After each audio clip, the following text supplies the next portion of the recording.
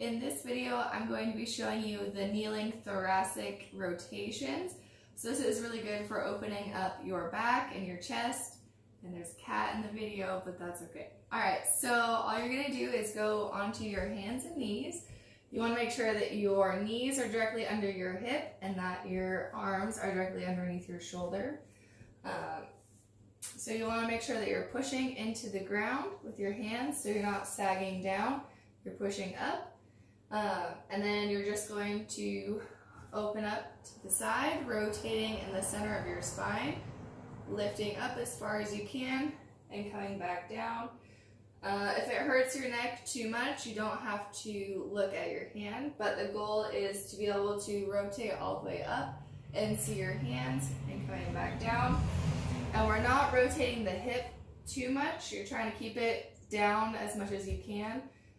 Hello, kitten.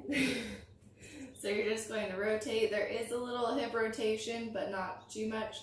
Um, you're just working on stretching out that back. So you're just going to slowly move through the reps, uh, trying to keep everything as relaxed as possible. And then obviously you would switch to the other side.